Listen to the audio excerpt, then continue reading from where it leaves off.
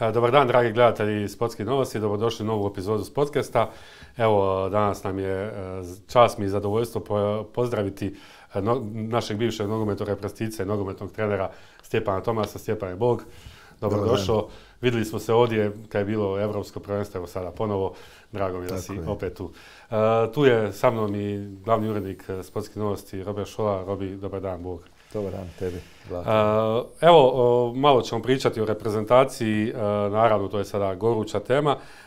Malo ćemo kasnije o Turskoj gdje si ti Stjepane i, igrao i trener bio, ali da sada počnemo sa reprezentacijom. Mhm. Ono goruće pitanje, četiri utakmice na kraju sezone. Kako ti, ajmo gledat to kad si bio igrač, kad, da si dobio poziv za četiri reprezentacije na kraju sezone, šta bi rekao?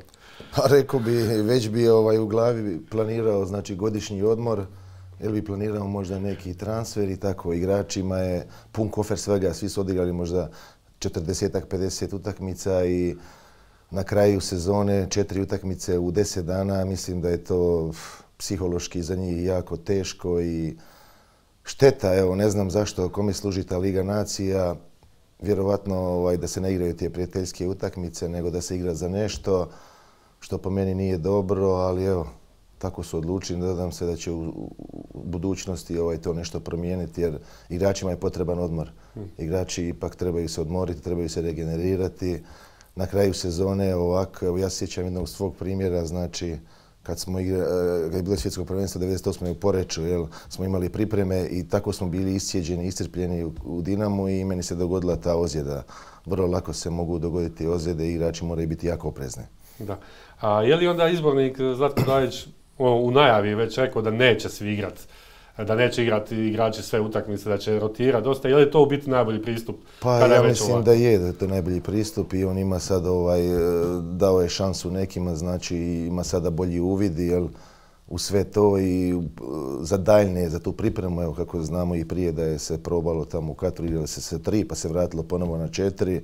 U obrani su igrali dva stopera prvu utakmicu, pa smo onda promijenili u drugu i tako dobili su igrači šanse.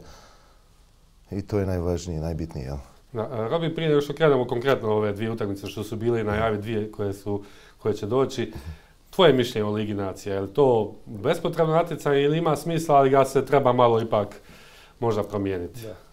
Pa ima smisla, e, jer e, ono e, donosi jakim reprezentacijama još više jakih utakmica. Znači, mi smo u, u ovo sad treće izdanje imali u prethodne dvije sezone deset utakmica, od kojih je ne znam, šest, sedam bilo sa Francuskom, Portugalom, Španjolskom, Engleskom, jel? To su e, iznimno dobre utakmice, jel? E sad, druga je stvar što E, što je kalendar e, pretrpan, pa imamo i ovo svjetsko prvenstvo koje je usred sezone, jel, što je samo po sebi već veliki problem i onda dođe do toga da se u četiri dana igra deset, utak, u, u deset dana četiri utakmice, što na neki način pokazuje da ipak i, i UEFA ne gleda Ligu nacija kao toliko bitan projekt, nego ajmo ugurati ono samo da se odigra. Jel?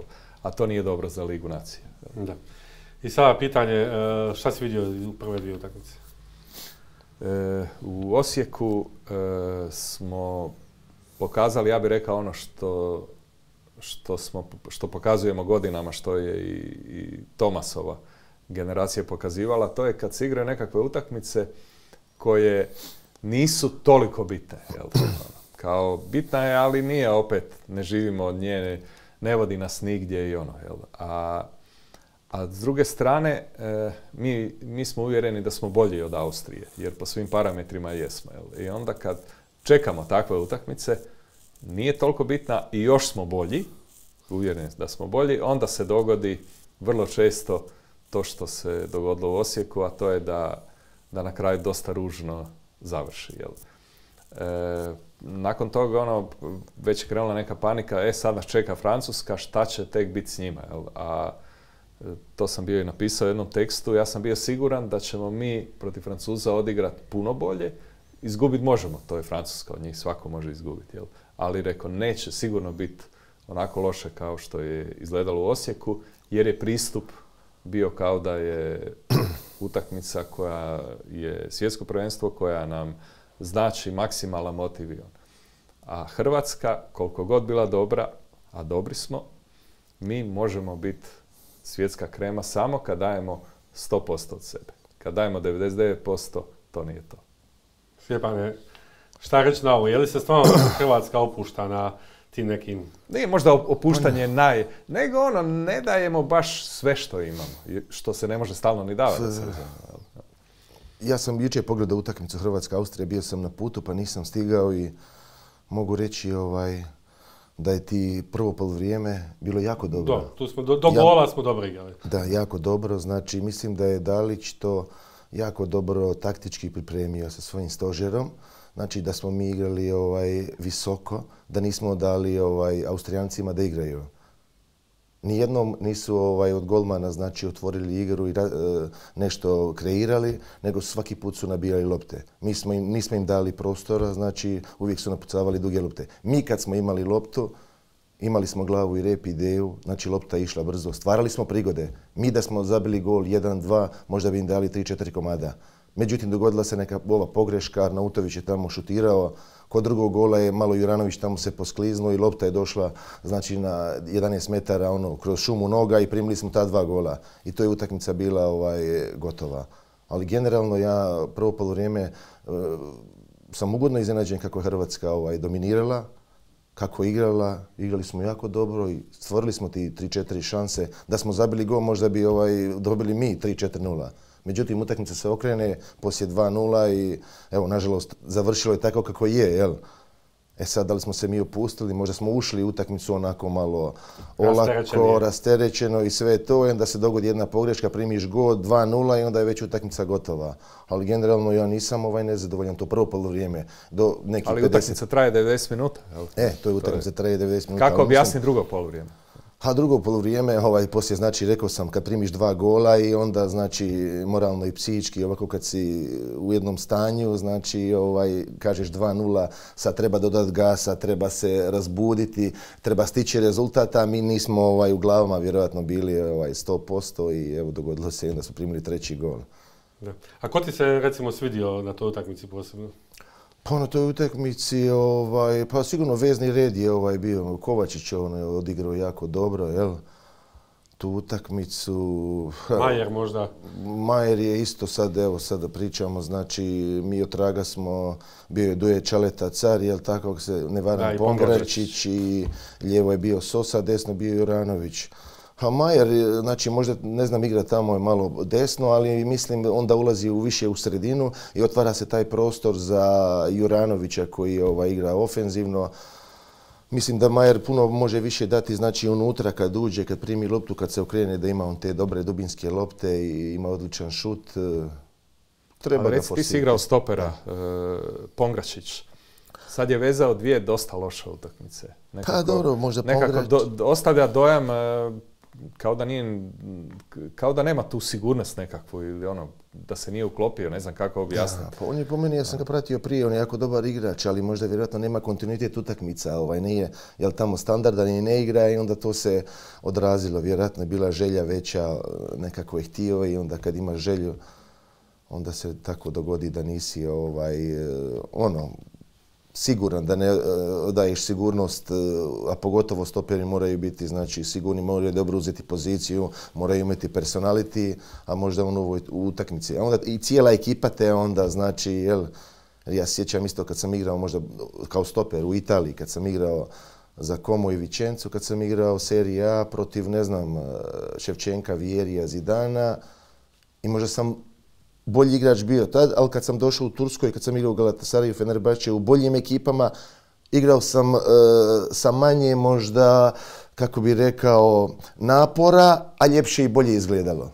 Kad je ekipa jača i kvalitetnija. Dobro, ti si igrao stvarno u Italiji kad su na protivničkim stranama bili opasni, opasni napadači. Da, jedan jedan. Vjeri, Ševčenko, Batistuta, Krespo. Nema spavanja. Nema spavanja.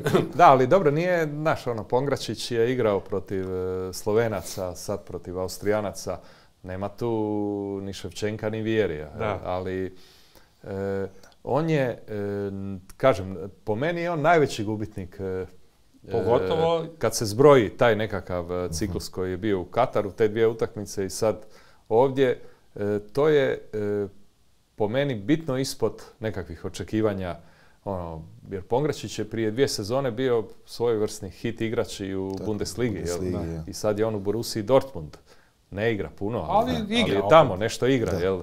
Ono, tako da, onako... Očekivanja ne, su bila... Ne, teško mi je reći šta se događa. Zašto je tako, jel? Mm. Ali, ali baš ono nije, za razliku od Erlića koji to sam je, sad koji je sad debitirao i koji je izgledao jako ali opet i ovo što Tomas kaže, izgledala je cijela momčad.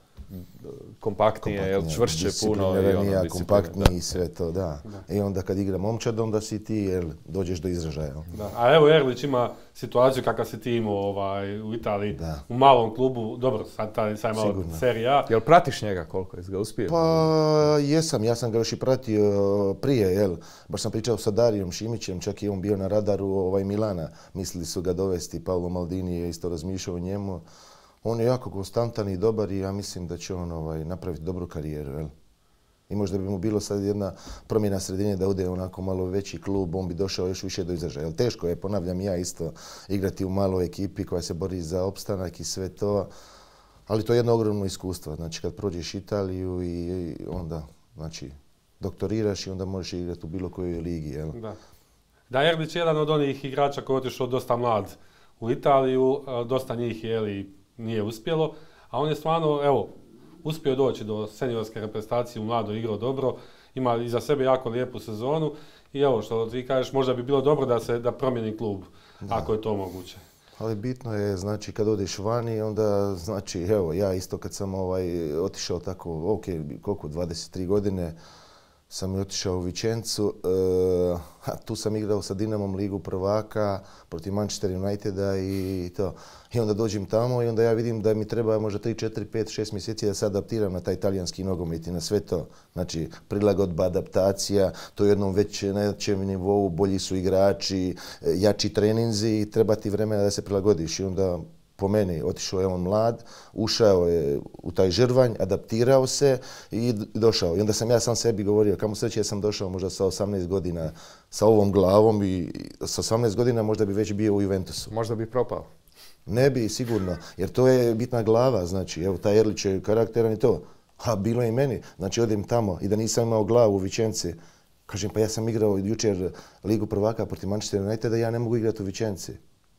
I onda da sam malo labilniji, vjerojatno bi se vratio negdje opet u Hrvatsku i nikad ne bi možda otišao vani. A ja sam rekao, ja moram se izboriti tu, ja moram igrati seriju ja, i ja ću se izboriti. Evo, to je. Da. Uh, Robi sa Erlićem, tu sad Guardiol, imamo Josipa Šuta, znači stoperi. Pa gle, te stoperske pozicije su nekako najotvorenije. Jel? Lovren Vida su senatori, ali ono, već su i u godinama, ne znam gdje će Vida nastaviti karijeru. A i Lovren? Tom, tom Stjepan vjerojatno možda će bolje zna. u Turskoj, da, vjerojatno. Lovren, eh, vidim da ne misli ići iz Zenita, jel? E, tamo mu je dobro, e, očito mu je i, i pašemo i sve. Sad koliko je to u ovim ratnim okolnostima, jel, pametno nije, ne znam, ali stvarno ne vidim nekog velikog razloga za strah, jer Guardiol je apsolutno najbolji hrvatski stoper već sad. E, Erlić, Šutalo e, su tu. Šutalo je po meni isto zreo za igrat u, bilo kojem, neću reći ovih top 10 klubova, ali nakon toga u bilo kojem klubu. Iako, da, sad, evo što Da, iako ovaj, to nam ti možeš možda uh učvrstiti to mišljenje ili ga eventualno demantirati. Mhm. E, malo je nezgodno kad baš prije velikih natjecanja se stoperski tandem možda ide mijenjati ili tražiti, jer to iskustvo koje imaju Lovren i Vida je Neprocjenjivo sigurno iskustvo, ali sad kako, kakvom su oni stanju, znači da li oni igraju, da li imaju ozljede, opet je to, a opet moramo gledati ko je u trenutno u formi, jer mi moramo komponirati Znači, ne bi ti imao problem staviti uh, Erlića Šutala uz Guardiola?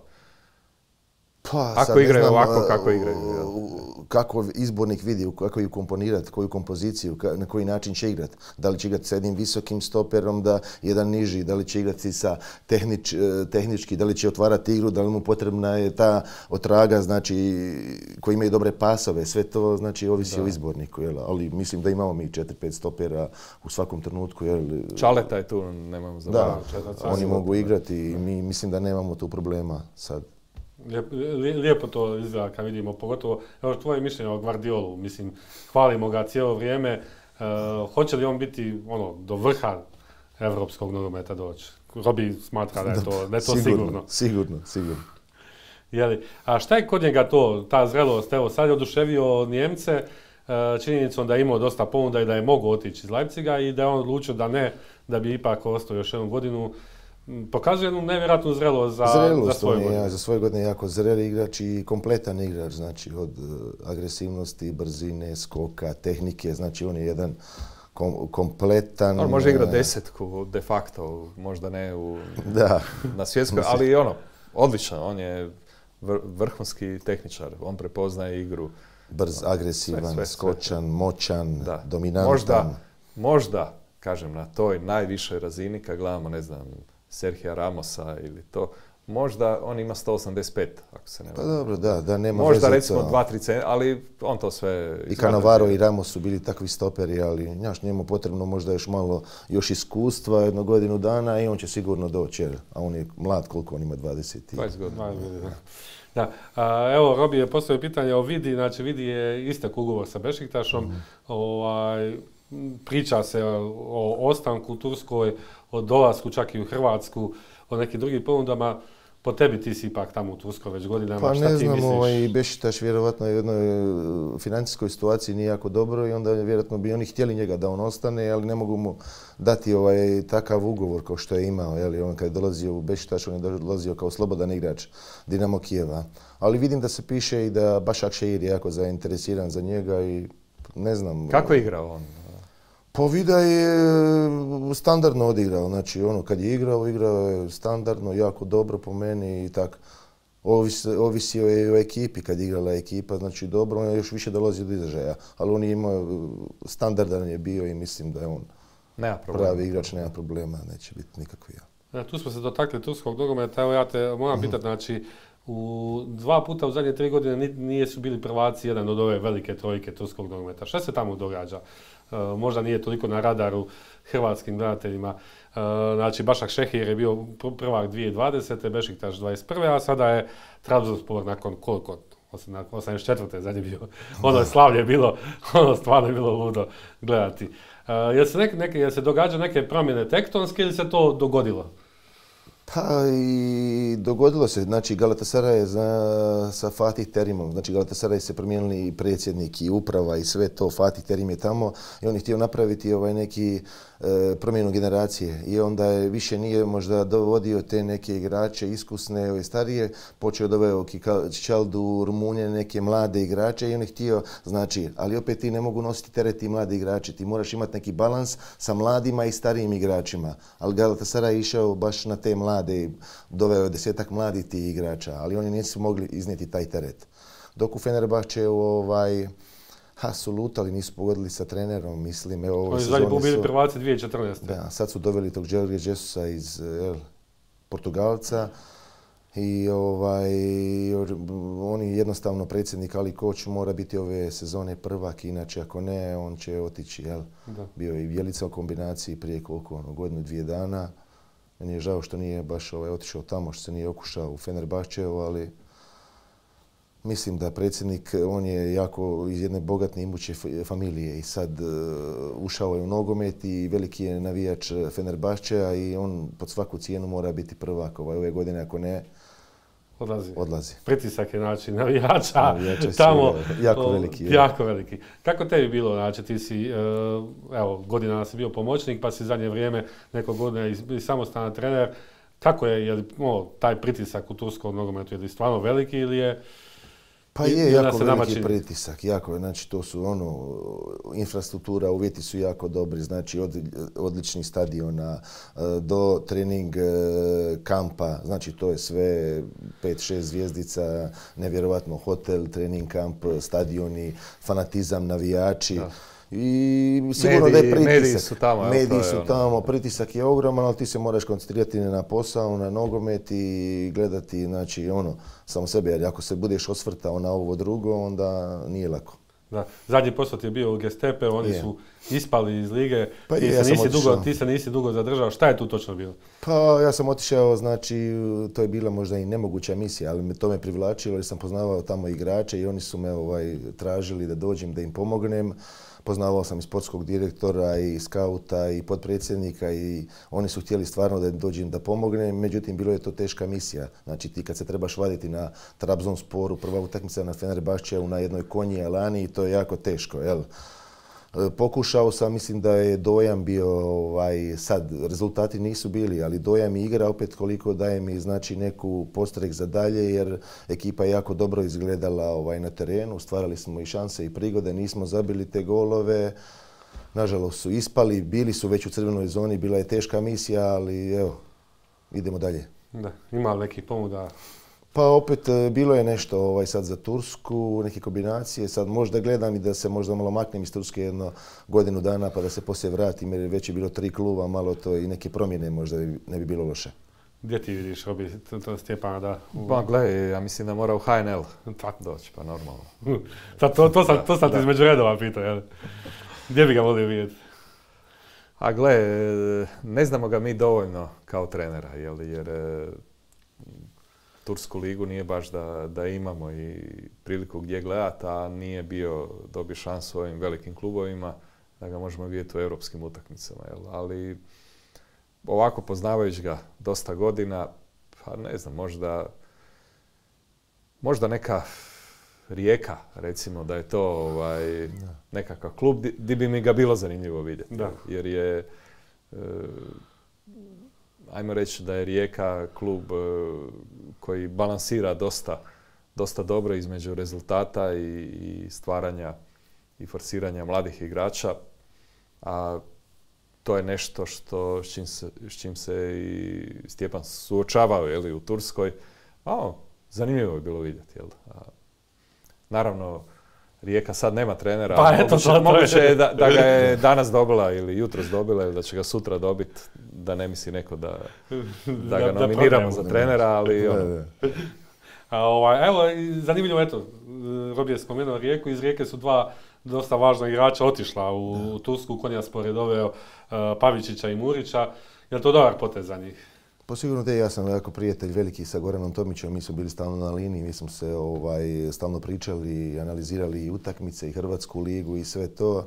E, to su dva igrača koji su tu u Hrvatskoj radili razliku. Murić je sigurno jedan igrač e, individualno jako dobar i koji ima odličan šut, koji ima jako dobar dribling, jel? Pavičić je onaj dobar vezni igrač i mislim da je jedna dobra sredina ta konja spor gdje ima tamo dosta i naših igrača sa prostora ove bivše Jugoslavije i da će se oni tamo brzo uklopiti. Konja spor ove godine je bila hit u Turskoj, jel su, koji su treći završili, Da, ja. ako se ne varam i igraće Europu. Konja spor je ono tradicionalno dobar klub, veliki grad, imaju isto jako dobar stadion, uvjete i dosta ulažu u nogomet i mislim da je to za njih jedan pravi pogodak za oba dva.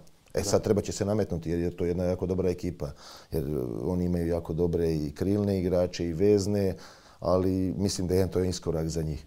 Da. Eto, oni će, oni će sad malo povećati tu našu koloniju koja je bila u jedno vrijeme dok si ti igrao, bilo je dosta više hrvatskih igrača tamo. Ovu prošlu sezonu smo završili sa tri igrača, znači osim e, Domagoja Vide, tu su bili Kristijan Bistrović i Damjan Đoković.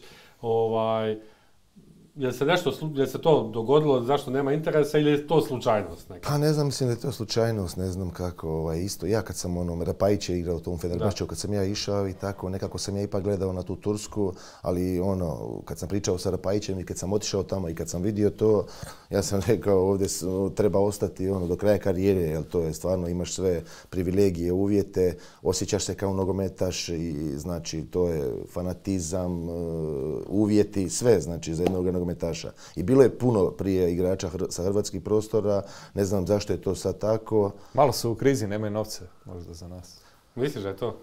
Ma imaju, oni uvijek plaćaju jako dobro, sigurno da ti igrači koji igraju u Europi onaj, e, mogu dobiti tamo, ja mislim, duple uvjete. Nije to tako, jel? Možda sad je, će se ići na to, pošto je pala turska lira i onda od TV prava neće dobivati e, tolike svote novca, jel? Imaju te sada probleme, ali za otići i napraviti jedan iskorak e, iz Hrvatske, Turska je jako dobra liga za napraviti iskorake. Da.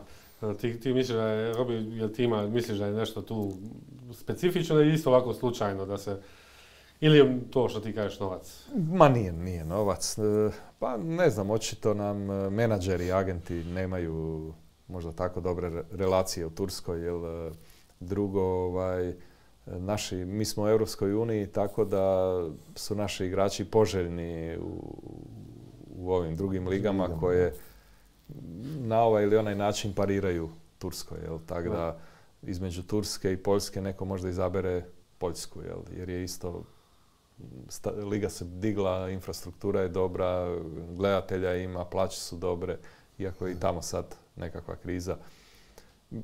Ta kriza će, ja mislim, e, dosta u, sljedećim sezonama i krojiti nekakav novi poredak u Europi. Da.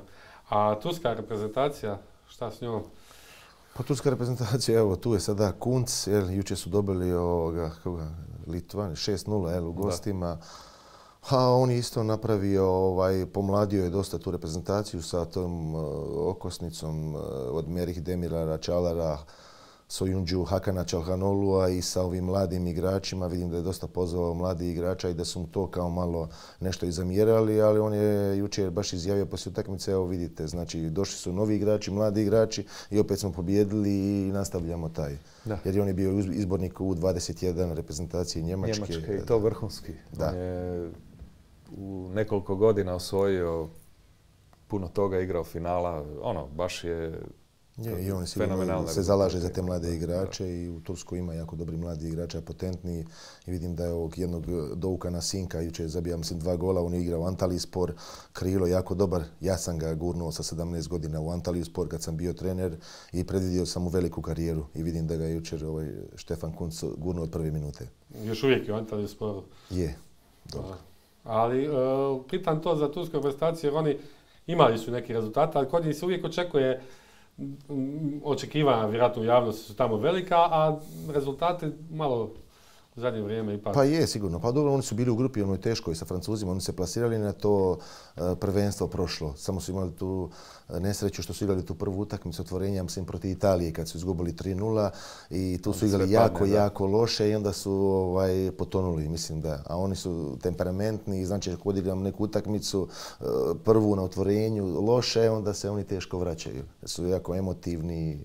Da, sjećam se i kad smo najavljivali to u našem Eurokestu prije godinu dana, da smo pričali mogla bi Turska možda čak iznenaditi nešto jer imaju neke stopere, ali na kraju nije to izgledalo baš Da, mislim nema Turaka već dugo godina na, na toj najvišoj sceni kad pričamo o, rezultatima, tako da nisam previše vjerovao. Ja i dalje mislim da je problem Turske to što previše se oslanjaju na stare igrače, kako klubovi, tako i, i reprezentacije. I to je, Kunc je po meni idealan izbor bio tamo da to ovaj, proba promijeniti.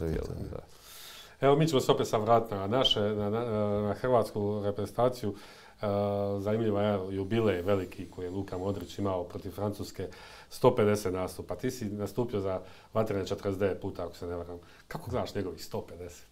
Pa sigurno. Mislim, tvoji 49 je veliki. Ono... Pa sigurno, veliki je 49, jeli, možda sam prije, kad su igrali koje Pletiko sa Idari, imali po 100 nastupa Šimunić, ali ovo je nešto ovaj, impresivno, znači 150 nastupa za hrvatsku reprezentaciju na jednom takvom nivou gdje svaku utakmicu odigraš, ja, gdje si jedan najbolji igrača i to je kapa do poda. Jedan od osam Evropljana u povijesti koji je skupio 150 nastupa, to je stvarno nešto. Kapa da poda impresivno u ovim godinama na takvom nivou svaka čast. Dokle ćemo ga, dokle, do koje brojke? Pa, e, vidjet ćemo, ali mislim da je Katar...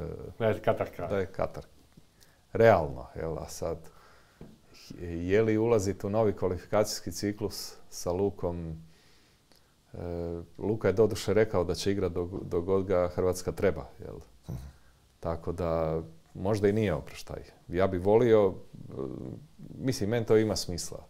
Igraj dok kad te reprezentacija treba. Jel? E, dok, dok kad god možeš pomoći. I dok kad god ima želju pomoći. Jel? A Luka, Luka je još uvijek naš najbolji igrač. Jel? Tako da, ne samo naš, on je još uvijek um, možda je najbolji vezni u svijetu. Da.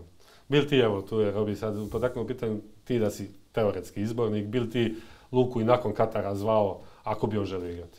U novi ciklus. Pa sigurno da pače, Luka ipak, on kad je samo na terenu, tamo kad osjeća se njegova prisutnost i bolji su igrači okolo njega i imaju respekt i sigurno da, da. Luka... Ako Zlatan htio s 40, zašto ne bi Luka? Zašto ne bi Luka, da. meni je bilo zanimljivo vidjeti uh, izjavu od uh, Sučića, jer, kojeg mhm. mnogi, tituliraju nasljednikom Luke, kad je došao prvi put na trening iz mlade reprezentacije, kaže, kad mi je samo, ovaj, sad ne, znam točno rečenicu, ali kad mi je samo Luka par puta na treningu nešto dodao, ja sam već bio bolji igrač.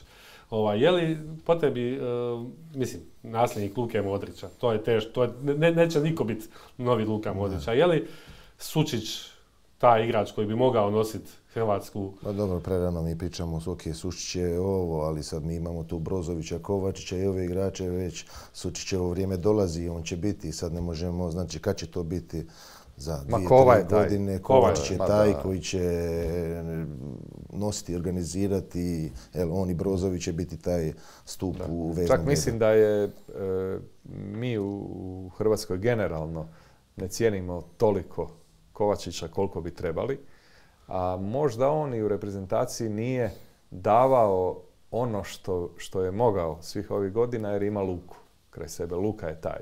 Jel Ali Kova kad dobije tu palicu u ruke, mislim da straha nema. On je, on je svjetska klasa. Svjetska. Da, i njemu se treba odati priznanja što se prilagodio, što je svoju igru na neki način prilagodio Luki. To definitivno, jer uh, on u Chelsea igra malo drugčije. Dobro, nije on i u Chelsea nema on palicu. Nema palicu, ono, da, ali ruci, ali, ali ono, Kova je čudo. On je... A zbog čega je to? Zbog toga, mislim, ti živiš, uh, većinu vremena si u Turskoj, ali, ali pratiš Hrvatsku. Zbog čega u Hrvatskoj imaju taj, da nikako ovu nismo prihvatili na takav način, publika? Pa ne Čemu je tu problem? Ne, pa nema golova. Mi, mi cijenimo golove, jel? mi volimo. I sad ovisno, znači, možda su sad oni su organizatori igre, imaš i Brozovića, Modrića i Kovačića koji dolaze možda po loptu, a možda bi jeli, trebali pustiti ovoga, Kovačića on gore malo više, ali on je dobar kad dođe tu i onda on kad krene ona niže dva, tri igrača podvali i tako. Možda bi trebao više šutirati, kažem, jer oni svi vole sa loptom i, i Luka i Brozović i ovo. Jel. Da, za razliku od jednog Pašalića koji je gore, koji dođe iz drugog plana, znači svaki puka je centar, šut, on se uđe u 16 metara i zato daje te golove. Da nevjerojatno koliko Pašović ima za gol, stvarno. Odlično. Za, se... on je bio vezijak sa najviše golova, tako ove godine. Tako je, seriji, 15 je zabio, možda i više, jel? Da. Ovaj, a, moram te pitati uh oko tog ono, pitanja, mislim da u svakom podcastu da smo pričali o tome. A, problem hrvatskih napadača, jel imamo problem ili... Pa napadači... Evo, ove dvije utakmice si sad gledao, na jednu utakmici je startao Kramarić, na drugoj Budimir. Da.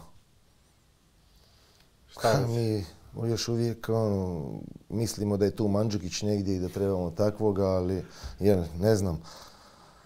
Ha, nadam se da će do ovoga prvenstva biti, ovaj, da će biti u formi i tako da će krama. Sad ovisi kak izbornik isto ima neku ideju sa tim. Da li će ovog centralnog pivota nekoga, da li će nekoga pokretnoga koji će se nuditi tako, gdje će se inserirati ovaj Pašalić ili možda Kovačić biti bliže golu. Znači mi moramo imati tamo neku devetku, znači pravoga. To je po meni nekada, ono, meni se jako sviđao, el, Kalinić i Sejduka, on je taj baš devetka, kiler i to. Livaja je tu, da kažem, Petković, isto to može ako promijeni neke te, ne znam, nije navike, da ne dolazi previše po loptu, da ne luta, da je tamo, jel? Sve ovisi kako će Hrvatska igrati, kako će napraviti igru znači, za napadače. Jer ako ti e, napraviš igru kroz sredinu ili po boku i doneseš loptu tamo centarforu, da kažeš centarforu, hoću te tu i da si mi tu a ne da mi šećeš i dolaziš po loptu, znači da se vraćaš previše, jel? To sve Ali znaš kako, e, e, Budimir je centarfor, on je istinski centarfor. Naravno nije klasa Mandžukića, jel? On, evidentno nije, jel? E, sve drugo je kemijanje. Da. Kramarić je klasa, ali nije centarfor. On je drugi napadač ili šta već, jel? Livaja nije centarfor. Petković se ne ponaša kao centarfor. I ono, u, ako ćemo realno, on i ne igra centarfora u Dinamu. Već Da li možda Rebić bi trebalo, mjesecu, sa. Rebićem malo... Rebić, a nije ni Rebić centarfor. Rebić je krilni igrač, jel? I sad još i nije u kadru. Tako da, ono, e, mislim da nije e, nikakav problem e, reći mi nemamo centarfora kakvog bi bilo dobro da imamo za ambicije koje gajimo. Jel? Jer teško je, e, Guardiola je najbolji trener na svijetu unazad deset godina, e, kupuje igrače po svom ukusu i to su sve vrhunski igrači. E, kad ih gledaš ne znaš šta imaju bolje od, od svega u igri, Ali opet ali na kraju kupio Halanda. Da, Aha. Jer ne možeš bez centarfora, neko mora zabijati te golove i neko u konačnici mora dati dubinu toj momčadi, je li, i kad ima posjed lopte i, i- i kad ide u kontre da se drugi stignu priključiti. Bez pravog centarfora je puno, puno teže. Jel? I to smo u konačnici vidjeli i ove dvije utakmice. Jel? Budimir je za mene odigrao vrlo solidno ovu, Solidno, je. ovu utakmicu. sebe i da, i dobio je dosta duela E. i ono, ali nije uspio zabiti gol. Da. E, I to je, to je taj jedan mali detalj jel, koji, Koji radi razliku, Koji radi razliku. Jel, da. Ha, to je, to je, znači mi trebamo biti složiti igru bez centrafora. Pa ne, ne, ne može, teško je složiti igru. bez- Mislim, e, puno teže nego s njim. E sad, Aha, ono. je, li, je li treba razmišljati o, o, ne znam, Roku Šimiću, o Belji? Ne znam. Ono, Roko Šivić je ipak druga austrijska liga. Slažem se. Slažem se, druga Mislim. austrijska, ali kažem, e, e, treba e, Ali treba najviše imati sliči Mandžukiću, vjerojatno isko, Ne, on je, vrijeme bi ja mislim da trebao Roko Šimić će biti nešto, ali mislim da nema, nije on sad e, Nije on sad sigurno igrač sigurno. kojeg ti možeš staviti u reprezentaciju i sad će on igrati. Da. E, ali e, ne znam e, je, šta, je, šta je tu pametnije. Je, li- je li uporno raditi od Kramarića centrafora, koji, a on to nije, on to nikad neće biti. On će uvijek biti taj neki polunapadač, drugi napadač, ne znam kako bi to nazvao. Ali Dobro, opet se on nađe u šansi i prigodi, evo sad i protiv Osijeku, jer tamo ima jedan, ono, jedan šut i tako, on se uvijek nađe. Možda previše dolazi po loptu, jer on voli da je s loptom, da osjeti, da igra. E sad treba, da li treba napraviti igru, da li treba možda kad on dođe da se ovaj neko drugi Ali njemu je puno lakše kad ima centarfora. Kramarić, jel? Je E, puno kad lakše. ima nekoga Kad i onda on, kad je slobodan igrač i kad je, da. luta oko njega, evo. Kad ima Martinelu kod koje će on hvatati odbijanje. Ma svima je lakše. Sigurno. Mislim, e, Čavi je napravio velike pomake nekakve u Barceloni, ali Čavi sam kaže, ako hoćemo od nekakve simpatične momčadi koja s vremena na vrijeme igra sjajan nogomet, ako hoćemo osvajati trofeje, dajte mi Lewandowskog. Da. Da, htio je Halanda, ok, ne ide. Dajte mi. Lewandowskog. Ne, mislim, Skroman, skroman. ne, e, Hrvatska je dva put e, uzela medalje na svjetskim prvenstvima. Imala je Šukera, koji je zabijao kao na traci. Drugi put je imala Mandžukića, koji nije zabijao kao na traci, ali je zabio tri gola i puno toga još omogućio drugima. To je, to je centarfor. jel. Centrafora nemamo uh, pravog, je li sad čekaju nas dvije utakmice, Danska i Francuska, znači šta očekivati od tih utakmica? Opet neke, hoće li izbornik opet nešto, ali uh, mijenjati, Pa zašto ne, da promijeniti opet, napraviti neku rotaciju, ili probati da ima jasniju sliku za dalje. Danci su dobri, jer koliko imaju oni već? Šest Do- šest bodova, bodova, oni su jel, tu i ostaje nam ta utakmica u Francuskoj, jesu tamo kod njih. Trebamo to odraditi, dati maksimum, sve od sebe, pokušati uzeti još ti bodova koliko se može i nije sjajna situacija. nije nam Liga nacija najvažnije natjecanje, ovako mentalitet, ali ne bi bilo dobro da ispadnemo i tu se dolazi do onog gubitka uh, pozicija, u ždrijebu. rejtinga, e. Da. Znači, treba sad ne- ne- nešto osvojiti, a bit će zanimljivo vidjeti hoće li Deschamps u, u, ovaj, u Francuskoj postaviti. Pa ne, Deschamps e, je pragmatičan, on je stavio jednu momčad u prvoj utakmici, stavio je drugu Dru- u drugoj. Je li svi, devet Tako. ih je promijenio, tako? Devet ili deset. Devet, ja bih da je promijenio. tako. A on će tako nastaviti. Da. I mislim, neće se on dovesti u poziciju da Francuska bude ugrožena, da ispadne. Ali nama je veliki problem tih 0-3 iz prve utakmice. Da. Jer evo, šta sad? Idemo u Dansku. Danska je, već na Euru smo vidjeli Dobra. e, fenomenalna, posebno u zadnjoj utakmici na Euru, to je izgledalo ono, nevjerojatna energija, brzina, silina, sve ono. Jel?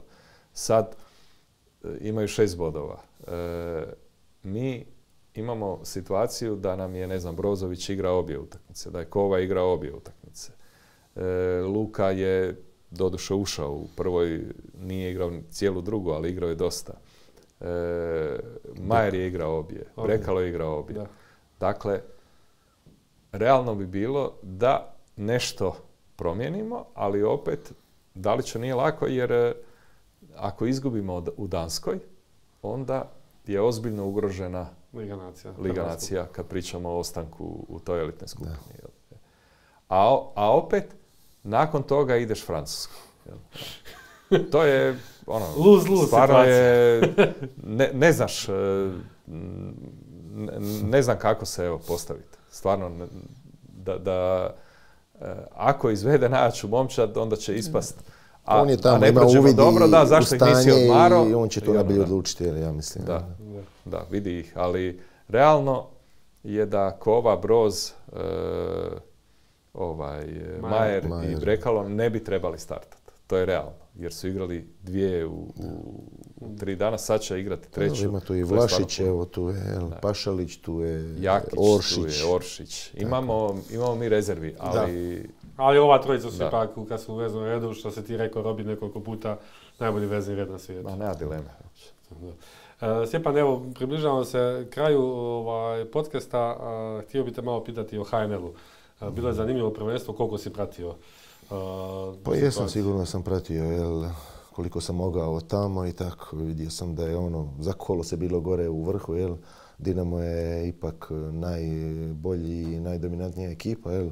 Hajduk se isto odigao i jel, drago mi je da je se opet nogomet vratio dole u Split, da su osvojili taj jedan trofej, da je tu i Livaja i Kalinić i da se opet stvara ovaj jaki Hajduk. Dinamo uvijek kao Dinamo, evo Rijeka je isto napravila jednu, igrala je jako lijep lepršav nogomet, znači igrala je to finale kupa, nažalost nisu osvojili. E, Osijek je tu bio do kraja u borbi, jel, sljedeće godine opet će biti ta jako neizvjesna borba Dinamo, Hajduk, e, Osijek, čak i Rijeka, ne znam sad, od dosta igrača otišlo, kakve su im ambicije, koga će dovesti, da li će... Ali oni- uvijek uspiju naći neke dobre zamjene, što je... Pa sigurno da Rijeka uvijek to nađe, da iskombinira, jel, ima i Rijeka jako dobri potencijalni i mladi igrača, od kojih ovaj, se meni čak i ovaj mali, kak se zove, Liber, jako sviđa, ne znam, on je ozlijeđen, ali on je jako jedan zanimljiv igrač i mislim da ima ono, kapacitete da bude jedan od, čak da može doći do reprezentacije. Da. Jer ja sam ga baš gledao prije, ne znam, godinu dana u Umagu kad su igrali Rijeka i Koper i baš sam pitao Gorana Tomića ko je ovaj, da me onako podsjećao na, malo na Luku, da imate njegove pokrete. I, Da. Ne, ne moramo se bojati za budućnost nogometa, to definitivno Hrvatska. ne, ne, Hrvatskog, evo, sigurno dolazi i Gorica, tu je Lokomotiva, jel, tu je i Šibenik, evo koji je doveo stranog trenera, Istra je tu koja je i sigurno da se diže taj nogomet hrvatski i bit će sve bolji i bolji. Još da imamo malo bolje uvjete, infrastrukturu i sve to, puno bi to ovaj, još bolje bilo. Jel? Da. Ovaj, dobro, i tu se nešto diže, evo, barem ćemo, bar Osijek će imati lijepi stadion uskoro. Ovaj, a, e, spomenuo si kako je Hajduk osvojio taj kup. Kako, ok, gledao, pratio se sve iz Turske, kako komentiraš tu zaluđenost, taj Livaja efekt, ne znam kako bi ga nazvao, to što se događa u Splitu? Pa sigurno da je ono, Hajduk eh, ipak ima jednu težinu sa Livajom i sa ne znam Kalinićem i sviđa mi se ovaj, i način na koji je igrao Hajduk, znači ovu utakmicu finale Kupa protiv Rijeke odigrali su i možda jednu najbolju utakmicu svoje, znači to je bilo ono dominacija, posjed lopte, dubina, okomito, stvaranje, prigoda, zabijenje golova, jel?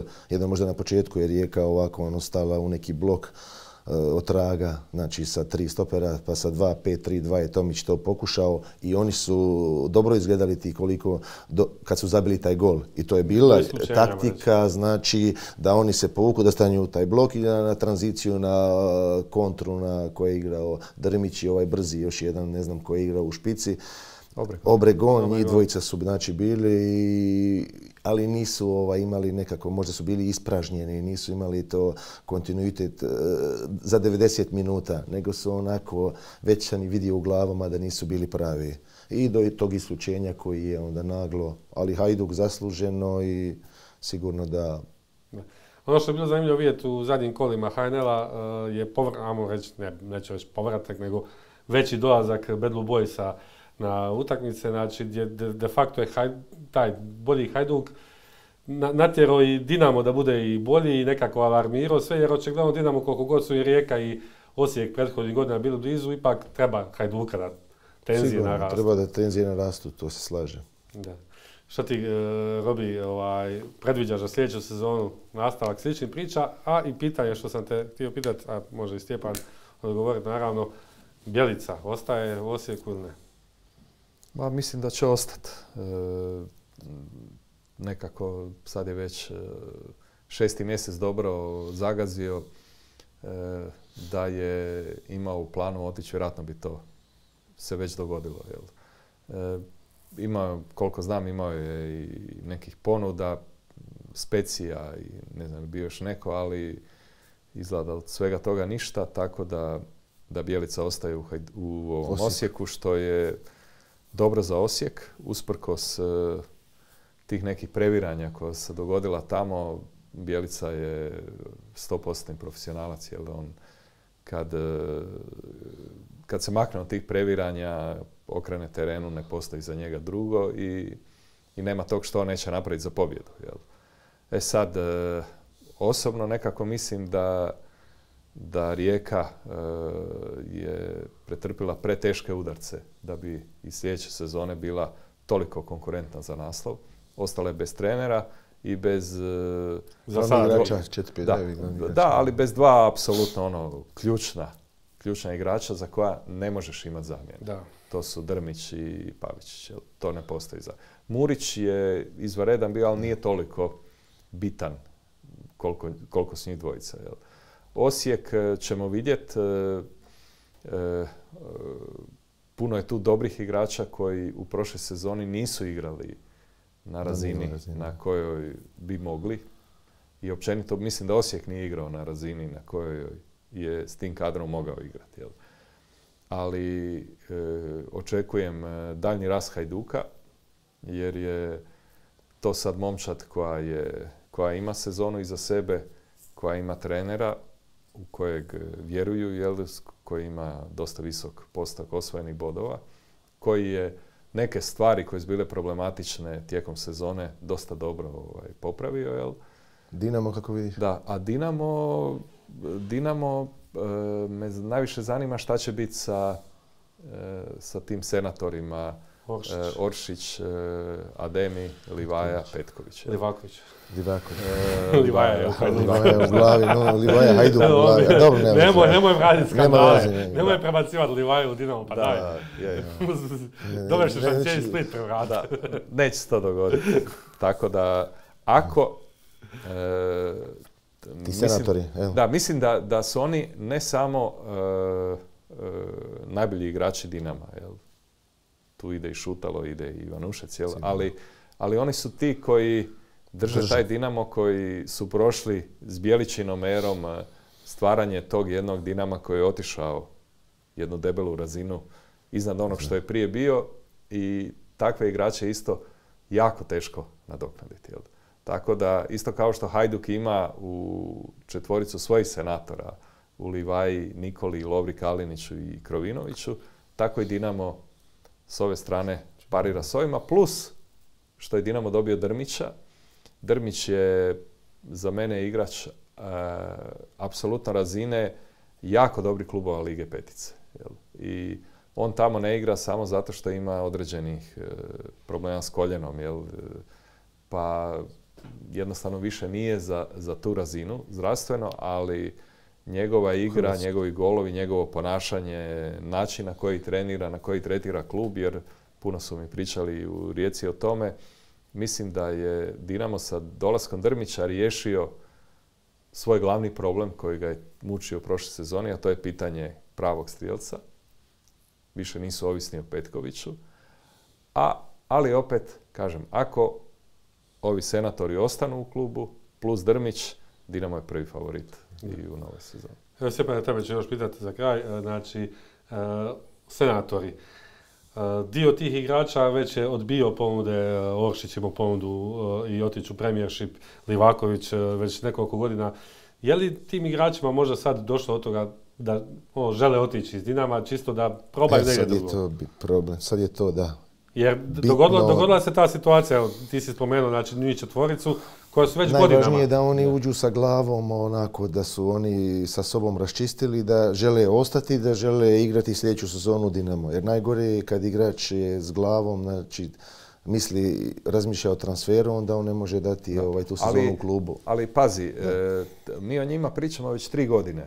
Da će otići. Da će otići. A, a oni u te tri godine, Petković, a Petković je pao. To je evidentno. Jel? Ali ova trojica nisu pala ni milimetra. Dakle, još su bolji igrači, slažem se. Dakle, ja, e, ako oni ostanu u Dinamu, mislim da, da Dinamo nema, neće imati strah ili problem od toga hoće li oni biti. Hoće. Da. Bili su tri godine, bit će i četvrto. Nije to uopće sporno. Samo ali bilo je na knap ovu godinu, ali dobro. Tako je, da, da. Ali po meni najviše zbog e, problema s Bruno Petkovićem. Pitanje centrafora. A to sve još. Eto, mi bi mogli pričati, o, ima uvijek zanimljivih tema u nogometu. E, Stjepan je hvala na dolasku. Hvala. E, nadam se da ćemo svidjeti na kraju sljedeće sezone s nekim dobrim rezultatom iz Turske lige ili neke druge.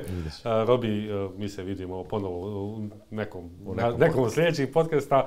Dragi gledatelji, hvala vam na vašoj pažnji i doviđenja do sljedećeg tjedna.